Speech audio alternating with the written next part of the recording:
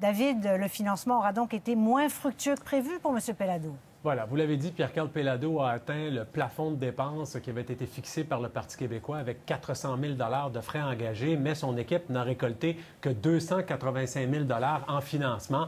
Résultat, vous allez le voir sur le tableau, pour le clan Pierre-Carl Pellado, donc une dette de 132 000 Ses adversaires ont des dettes beaucoup moins importantes, mais ils avaient engagé aussi des frais beaucoup moins importants. Bernard Drinville, vous le voyez, 3 600 de dette. Martine Ouellette, 385 Alexandre Cloutier et Jean-François Lisée, eux, atteignent l'équilibre, si je peux dire. Et Pierre Serré dégage même un petit surplus de 14 Mais, je l'ai dit un peu plus tôt, les budgets étaient euh, extrêmement variables d'une équipe à l'autre. Celui de Pierre-Carl Pellado était considérable par rapport à ses adversaires. Pour vous donner une idée, il a dépensé cinq fois plus que celui qui a terminé, terminé deuxième, donc Alexandre Cloutier.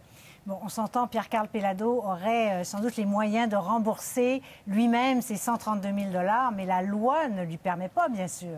Non, c'est ça. Il ne peut pas signer un chèque justement pour euh, éponger cette dette. Ça veut dire que son équipe doit euh, recommencer le financement auprès de militants pour un événement qui est déjà terminé. Ça peut vous sembler curieux, mais ça s'est déjà euh, déroulé dans le passé. Ça arrive assez fréquemment que des hommes et des femmes politiques complètent ce genre d'exercice avec des dettes. Vers 19 heures, son porte-parole nous a affirmé par écrit que le chef de l'opposition allait établir un plan de remboursement pour cette dette de 100 32 000 Voilà. Merci, David.